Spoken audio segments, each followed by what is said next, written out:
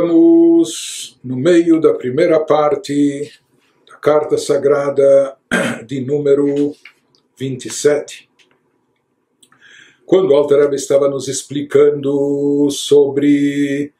a influência contínua da energia do tzadik, que ocorre mesmo após o seu passamento, mesmo após ele ter se desvinculado do, do corpo físico do mundo terrestre, mas a sua alma sagrada continua emitindo energia para os seus alunos, para os seus discípulos, que aqui permanecem seguindo suas eh, orientações, implementando seu legado, etc. Em sequência, aquilo que ele nos mencionou acima, quando ele nos falou que quando o tzadik observa que suas, seus filhos, suas crianças, e os filhos do tzadik, como dissemos, são os alunos, que eles permanecem santificando o nome de Deus ao realizar todas as coisas boas, seguindo nos caminhos e trilhas indicados e traçados pelo tzadik,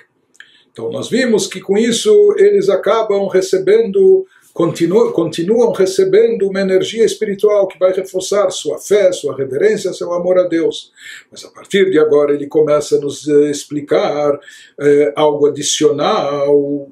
seja, ele vai nos dizer, até agora ele nos falou e nos ressaltou que a influência do tzadik para os seus discípulos após o falecimento do tzadik, ela continua impactando os seus seguidores no seu serviço espiritual, no serviço espiritual deles, na sua fé, na sua reverência, no seu amor a Deus.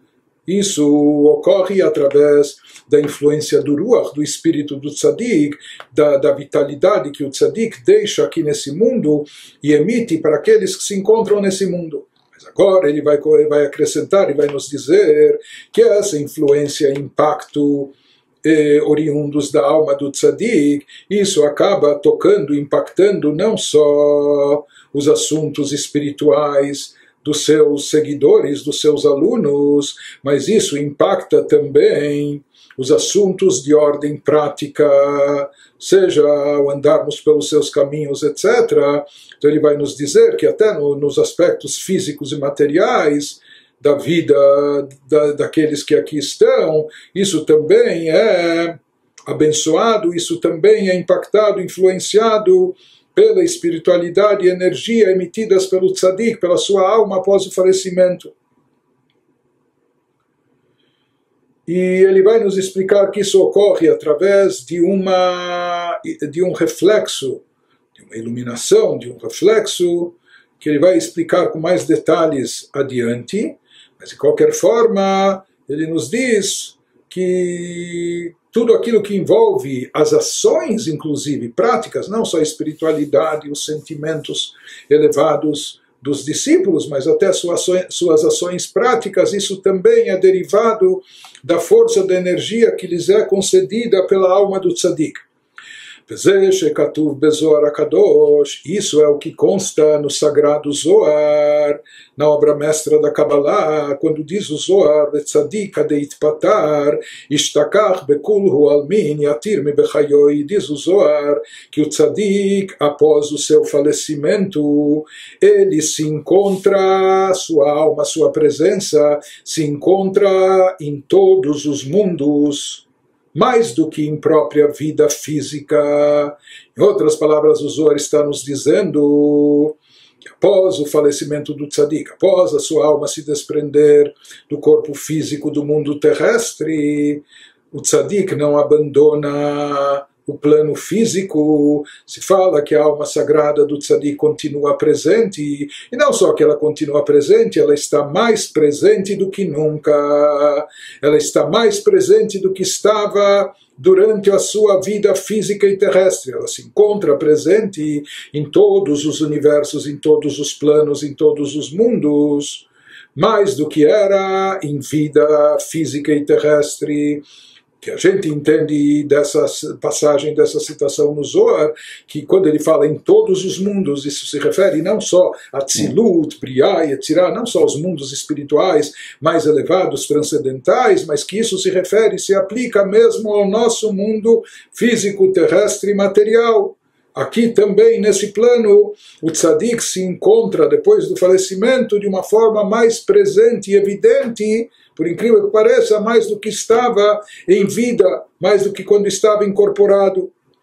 Ele nos diz que esse assunto, que esse aspecto ocorre principalmente em função onde isso se manifesta, como isso se concretiza através da influência do impacto, através da energia que ele transmite para os seus alunos, para os seus discípulos que estão seguindo pelos seus caminhos e aplicando isso na prática no campo da ação, ou seja, quando seus discípulos na prática, na ação prática física, palpável, material, agem de acordo com as instruções, o caminho eh, orientado, estabelecido pelo tzadik, então já que são coisas práticas, através disso também nós conseguimos trazer o impacto e a influência do tzadik até o nível físico, material e prático também. Isso que vai nos explicando o Alter Rebbe, de ou seja, chegar Beze Olam o que se interpreta, o que se deriva dessa citação do Zohar, que também Deus, eh, se fala que Deus coloca a alma do tzadik, depois do seu falecimento, ela se encontra desprendida do corpo, e isso faz com que essa alma esteja mais presente do que nunca em todos os mundos. Como nós dissemos, chegam Beze Olam isso inclui também esse nosso mundo da ação, esse nosso mundo prático material, esse nosso mundo presente, Hayom Lasotam, que na linguagem dos nossos sábios eles definem esse nosso campo atual, esse nosso mundo como hoje, hoje que é o momento de realizar, de fazer. O amanhã seria o mundo vindouro, que é o momento de receber a remuneração, o momento de ser recompensado, de descansar, etc. Porém, hoje, aqui, agora, é o, é o mundo da ação, é o momento de fazer e agir nos diz que a alma, a espiritualidade do tzadik e sua energia estão presentes e continuam presentes em todos os mundos, e não só isso, até de forma mais intensa, também nesse nosso mundo prático, Ishtakach Yatir, ela se encontra, até, se encontra até mais presente do que antes. Então, esse nosso mundo é chamado o mundo da ação. Porque aqui a proposta desse mundo, acima de tudo, consiste em nós agirmos de forma positiva, fazermos o bem, praticarmos o bem, cumprirmos na prática as mitzvot. Isso significa, na linguagem dos sábios, o Hayom Lasotam, que nós estamos aqui hoje, atualmente, para fazer, fazer, fazer, produzir, realizar. Portanto, o principal objetivo e finalidade desse mundo é a ação, a ação prática, a realização boa e positiva. Portanto, quando nós dizemos, baseados no Zohar, que o tzadik ele se encontra após o falecimento, todos os mundos, inclusive no nosso mundo físico e prático. Isso se reflete no quê? Que nas nossas ações práticas, na nossa prática de mitzvot, de todos aqueles que seguem seus caminhos e orientações, o tzadik se encontra presente. Através disso que eles seguem, são inspirados, motivados pelos ensinamentos do tzadik, que fazem as coisas boas na prática então isso também atrai, mantém a energia espiritual, a alma sagrada do tzadik presente aqui no mundo físico, material e prático. Por isso se fala que o tzadik agora se encontra aqui mais do que em própria vida, porque enquanto ele estava em vida aqui, ele estava restrito limitado, estava dentro de um corpo físico, um ser humano de carne e osso, isso limitava em tempo, espaço, influência, etc., dentro dos limites de, de toda pessoa física limitada. Mas agora, se ele continua aqui através das nossas ações, mas sem estar preso e limitado a um corpo, sua influência é ainda maior. Isso que ele vai nos explicando, que Amase Gadol ou Gadel Veoler Gidulei Gidulin Min Or Zaru Al Tzadik Besade Asher Beracho Hashem ele nos disse, utilizando também de passagens místicas e de versículos, porque se fala que a ação, todos os atos, todas as ações realizadas pelos seus discípulos, ela já é grande em função da motivação, da inspiração, da orientação que receberam do tzadik. E não só que ela já é grande, mas ela continua se engrandecendo, ela continua crescendo, impulsionada por essa orientação, motivação que vem, que é oriunda, proveniente do tzadik. Então, essa ação positiva de cada discípulo, Oler Begadel, ele vai indo e permanece crescendo e evoluindo, Oler Gidulei Gidulin, e vai produzindo cada vez mais frutos e ramificações seja, vai se engrandecendo e produzindo frutos, e esses frutos, por sua vez, produzem outros frutos, etc. Isso vai num crescente só, baseado no versículo. Tudo isso é derivado do que? Na, na, linguagem do versículo Min Zarua, isso vem.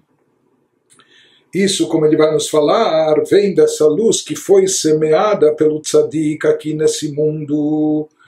Min or zaru ala tzadik besadeh asher berachu Hashem. Então, há uma luz que divina, uma luz espiritual que os tzadikim na sua vida semearam aqui no mundo. Então, como sementes que são lançadas no solo, depois a partir disso crescem plantas, ou vêm árvores e árvores frutíferas, e dessas árvores nós podemos semear, obter frutos, desses frutos também contém sementes e, e plantar outras inúmeras árvores, etc. Então, da mesma maneira, ele fala que o impacto do tzadik aqui é contínuo e incessante, ele permanece através das ações dos seus alunos, dos seus discípulos, com tudo aquilo que ele semeou de luz espiritual nesse mundo, Bessadeh Asher Beracho Hashem, utilizando aqui a linguagem do versículo, que ele semeou naquele campo que foi abençoado por Deus. E nós vamos ver que isso, em termos místicos, faz alusão a um conceito da última das dez sefirot de Atzilut, aquela sefirá, aquele atributo divino que é a fonte de energia para todo o mundo, todos os universos, a sefirá de Malchut, o atributo de reinado, soberania divina, que é aquele que contém, que recebe toda a energia que vai ser redistribuída e canalizada para todo ser e criatura de acordo com sua capacidade. Então isso é o significado mais profundo desse campo abençoado por Deus. Então aqui ele está nos dizendo que os atos derivados da, da, da força da luz transmitida pelo tzadik são atos contínuos, crescentes, que continuam acontecendo e não só continuam acontecendo, mas vão se engrandecendo, se multiplicando, etc. Eles, eles fazem com que essa luz que foi plantada, sementes lançadas pelo tzadik floresçam, isso traga traga e atraia uma energia nova e reforçada nessa fonte de energia para os mundos, que é essa Sefirah de Malchut, esse atributo de Malchut, que é chamado do campo abençoado por Deus. Isso faz que, no momento que essa energia é atraída, desencadeada até Malchut, a Meir Laaretz Vechutzot, isso acaba sendo irradiado, isso acaba chegando para a terra, nossa terra física terrestre, todos os lugares exteriores, etc. Ou seja, ele nos diz, isso se aplica também à terra de Israel, à terra santa, enfim, que era o lugar onde moravam seus discípulos, etc. Mas de qualquer maneira, ele está nos dizendo como as ações, as ações práticas feitas aqui nesse mundo, baseadas na inspiração, motivação, ensinamentos do tzadik, elas continuam produzindo um efeito, um efeito cósmico, um efeito elevado, algo que atinge até as esferas espirituais mais elevadas, que acaba atraindo uma energia adicional na Sefirah de Malchut, etc. וגם אנחנו, גם, וגם אנחנו אלה פה היום, כולנו חיים בדרכיו, דרך הקודש יקרא diz que isso acaba se refletindo também sobre nós, seja aqueles que estão aqui nesse mundo terrestre, nesse dia, nesse momento presente, todos nós que vivemos de acordo com os seus caminhos, que seguimos os seus caminhos, as rotas que, que ele, espirituais que ele nos indicou. Então ele nos fala aqui que através do falecimento do tzadik e a ascensão, a elevação da sua alma, isso desencadeia e traz uma luz divina inédita que se assenta no atributo de Malchut de Atzilut, de Malchut soberania do mundo de Atzilut, que é o plano mais elevado. E ele nos diz que isso na, na linguagem figurativa na Kabbalah, isso é, é chamado de semear, são sementes, ou seja, é um estímulo que é lançado assim como sementes são estímulos lançados na terra, aqui também terra simboliza, representa esse campo abençoado por Deus, representa a Sefirah de Malchut, e o que vai estimular uma atração de nova, de, de nova luz e energia que floresça, que frutifique na Sefirah de Malchut, isso é a alma do Tzadik, e as ações positivas, práticas que são resultantes da sua influência e que tem, e que tem uma continuidade ininterrupta. Ele nos diz dessa Sefirah de Malchut, dessa revelação, desse desencadeamento de uma luz e energia espiritual inédita, de lá se deriva uma influência para todos os seus alunos, discípulos e seguidores. E essa influência, isso chama, são chamados os frutos aquilo que floresce, é? os frutos que crescem daquele campo em função daquele semear, daquela, daquele ato de plantar. O ato de plantar foi feito pelo tzadik, ele semeou essa luz. Mas como frutos, dividendos, isso surge para nós, esses benefícios que são provenientes daquilo que foi a atuação do tzadik. E esses frutos, eles acabam nos impactando, nos influenciando para que a gente prossiga fazendo coisas boas e positivas, andando nesses caminhos. Portanto, aqui há um efeito multiplicador. A alma do tzadik, por assim dizer, lança sementes. Essas sementes atraem uma, uma nova luz e energia em Malchut de Atzilut. Isso já são frutos do trabalho espiritual realizado pelo tzadik. Mas ele diz mais ainda, desses frutos há os frutos dos frutos, ou seja, dessa energia se deriva e se atrai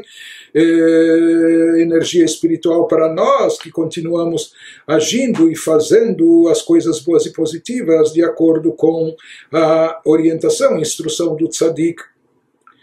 então ele nos fala que essa energia inédita que surge após o falecimento do tzadik, que isso ele chama de Or Zaru ala tzadik, a luz semeada pelo tzadik nesse campo que é abençoado por Deus, Sefirat Malchut. Ele nos fala que isso na realidade não existia quando o tzadik estava preso a esse mundo físico e terrestre, quando ele vivia aqui na face da terra.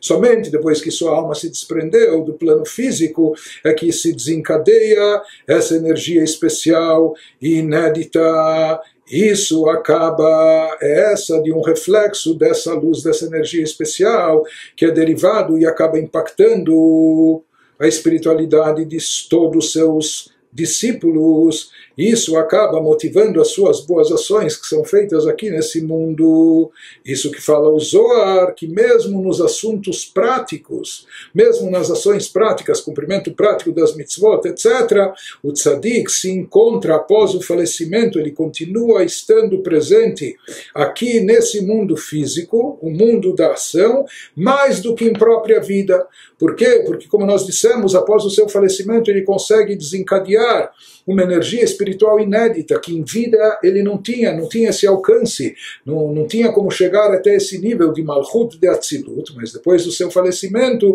depois de se desprender das imitações do corpo e plano terrestre, sua alma é elevada e chega até esse ponto de Malchut de Atzilut, e lá, por assim dizer, semeia mais espiritualidade mais energia divina, e essa energia divina, por tabela, ela chega até nós, ela acaba influenciando, impactando nossas ações, portanto, de uma forma mais intensa, mais forte do que o que era eh, possível, plausível de ser obtido enquanto o tzadik estava aqui, eh, vivendo no plano físico e material.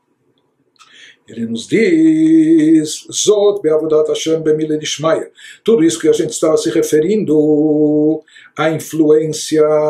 e impacto no plano físico e terrestre, nas ações de ordem prática, aquilo que acaba emanando ainda da alma do tzadik mesmo até, após o seu falecimento. Então, o que nós pudemos expor até agora é aquilo que está relacionado com o serviço a Deus eh, em relação aos assuntos celestiais, ou seja,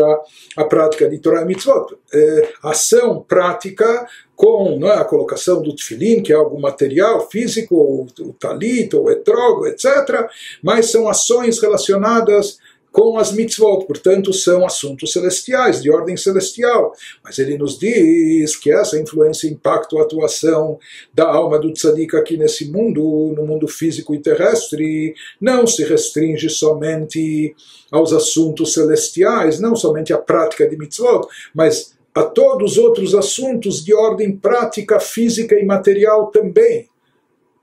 continua havendo uma influência da alma do tzadik, o bemile de alma nos assuntos mundanos. Beferush itmar bezoar kadosh foi dito explicitamente no sagrado Zohar, seja assuntos no que se refere à preservação da pessoa, sua saúde ou proteção, tudo aquilo que nós necessitamos no nosso de forma física, material. Diz o sagrado Zohar de tzadikai ameginin al alma, os tzadikim eles defendem e protegem o mundo, seja o mundo mundo para estar estável depende dos sadikim, são os sadikim que trazem proteção ao mundo e defendem o mundo de maus decretos, etc. O Bemitat Hon, Yatir Mibechayehon, e diz o Zohar que após o seu falecimento eles protegem o mundo mais do que ainda quando estavam vivendo aqui presentes de forma física nesse mundo. Ou seja, eles continuam protegendo, defendendo, intercedendo fisicamente, materialmente pelo mundo e seus habitantes.